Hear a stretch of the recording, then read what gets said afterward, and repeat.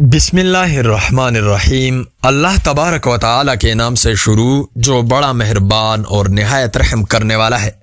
अस्सलाम वालेकुम वरहमतुल्लाहि व बरकातुहू।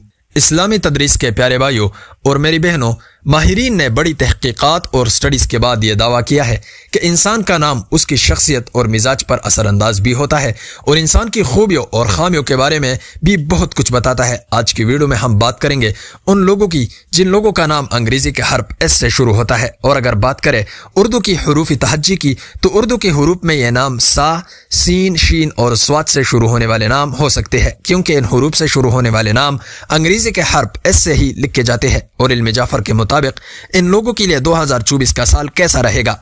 इनके लिए अच्छी खबरें क्या है और बुरी खबरें क्या है? इनको किन मुश्किल का सामना हो सकता है?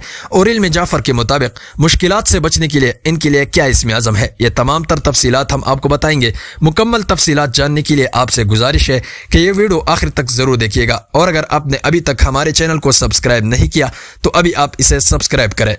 प्यारे भाइयों, जिस तरह इंसान के नाम का उसकी शख्सियत और मिजाज पर असरात होते हैं, बिल्कुल इसी तरह नाम के पहले हर्फ के भी शख्सियत पर बहुत गहरे असरात होते हैं। और नाम का पहला हर्फ ही आपके बारे में बहुत कुछ बता रहा होता है, जिसका जानना हम सब के लिए बहुत ज़रूरी है। तो चलिए, हम आपको इल्म जाफ़र के मुताबिक ये बताते हैं कि इन लोगों के औसाब क्या है, जिनके नाम एस से शुरू होते हैं। इनके लिए साल 2024 कैसा होगा? और इन्हें इस साल में क्या इसमें आज़म का वजीफा करना चाहिए? प्यारे भाइयों और मेरी बहनों, माहरीन का कहना है कि इस नाम वाले लोगों के अंदर एक ऐसी सिफ्त है जिसकी वजह से इन पर अल्लाह ताला का खास फजल करम होता है और वो सिफ्त है जोड़ने की सिफ्त। क्योंकि ये इंसानों को रूटा देखकर कोशिश करते हैं कि दो नाराज़ लोगों को मना ले और बिक्रे हो को बना दे। और ये बात भी सच है कि ये लोगों का भला करते करते काफ़ी मरतबा खुद अकेले रह जाते हैं। इल्म जाफ़र के मुताबिक ऐसे लोग अपने वजूद में हर किस्म के माहौल को अपनाने की ताकत रखते हैं। सख्त से सख्त माहौल हो, गम हो, खुशी हो या परेशानी हो, कुदरत की तरफ़ से इनको ऐसी कुत मिलती है कि इन तमाम चीज़ों का मुकाबला करके अपनी ज़िंदगी को आसान बना सकते हैं। लेकिन इनका जल्दी भरोसा करना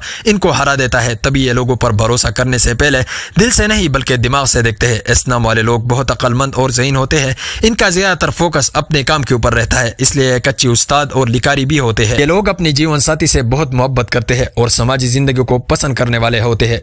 इनकी एक आदत यह भी है कि ये मुँह पर हमेशा सच बोलते हैं, जिसकी वजह से इनके काफ़ी काम उलझ जाते हैं। इस तरह से इनकी मंजिल भी काफ़ी करीब होने के बावजूद उलझ जाती है। प्यारे भाइयों, ये थे वो सिफात जो इल्म जाफ़र के मुताबिक इस नाम वाले लोगों में पाए जाते हैं। और रही बात कि इन लोगों के लिए साल 2024 कैसा होगा, इस हवाले से इल्म ज़फ़र का कहना है कि इन लोगों के साथ हसद के मामला इस तरह से उलझेंगे कि जो इनको नुकसान पहुँचा सकते हैं, इनको चाहिए कि यह सुबह उठते ही सूर्य पलक के आखिरी आयत को तैंतीस मरतबा पढ़ ले और रात को सोने से पहले भी यह अमल लाजमी करे। यही आयत इनके लिए साल का इसमें आज़म है। अल्लाह के करम से मनफी असरात इनसे दूर रहेंगे और हासिदों के हसद से भी महफूज रहेंगे। प्यारे भाइयों और मेरी बहनों, अगर आपका नाम भी एस से स्टार्ट होता है तो इन खूबियों को अपने अंदर तलाश करने की कोशिश करेगा और अगर आपका नाम एस से शुरू नहीं होता तो अपने ऐसे दोस्तों के साथ इस वीडियो को शेयर करें, जिनका नाम एस से शुरू होता है। तो दोस्तों, आज की वीडियो में इतना ही। अगर आपको हमारी आज की ये वीडियो पसंद आ गई हो तो वीडियो को लाइक करें चैनल को सब्सक्राइब करें और कमेंट्स बॉक्स में अपने ख्याल का इजहार ज़रूर करें। शुक्रिया।